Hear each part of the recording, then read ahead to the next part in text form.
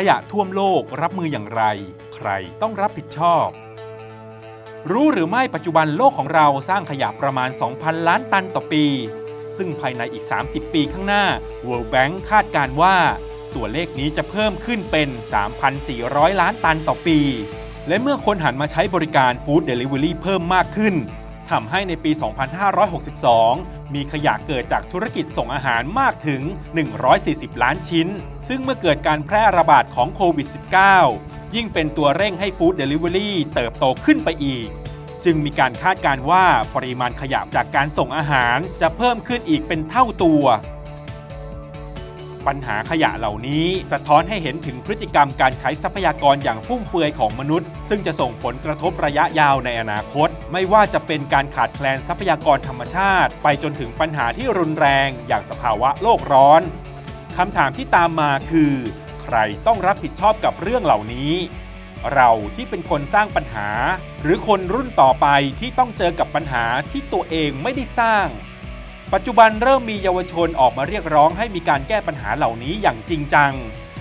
แล้วผู้ใหญ่อย่างเราจะมีส่วนช่วยอะไรกับการแก้ปัญหานี้ได้บ้าง หนึ่งในวิธีง่ายๆ ที่เราทำได้ก็คือ การปรับพฤติกรรมเพื่อลดขยะ ทั้งการนำกลับมาใช้ซ้ำและจัดการขยะให้ถูกวิธี เพื่อนำขยะเข้าสู่กระบวนการรีไซเคิลอย่างถุงพลาสติก ถ้าเรานำกลับมาใช้ซ้ำได้ ก็เหมือนการยืดเวลาที่มันจะกลายเป็นขยะออกไป ที่สำคัญคือ เมื่อจะทิ้งก็แยกขยะเปียกออกจากขยะแห้ง หรือขยะที่น่าจะนำไปรีไซเคิลได้ เพียงเท่านี้ก็จะสามารถนำทรัพยากรมาหมุนเวียนใช้ได้อย่างมีประสิทธิภาพมากขึ้น SCG ที่มีการดำเนินธุรกิจตามแนวคิด Circular Economy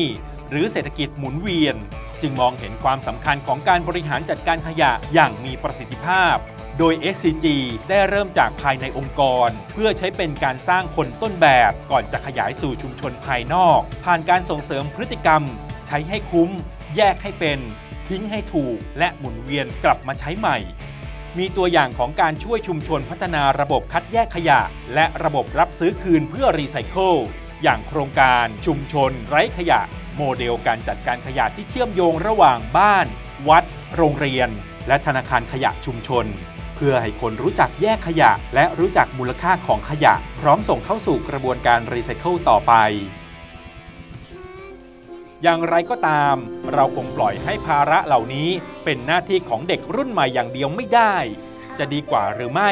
ถ้าเราทุกคนเริ่มเปลี่ยนพฤติกรรมกันตั้งแต่วันนี้ ช่วยกันคนละไม้คนละมือ เพื่อส่งต่อโลกที่สวยงามให้กับคนรุ่นต่อไป Together we can make it beautiful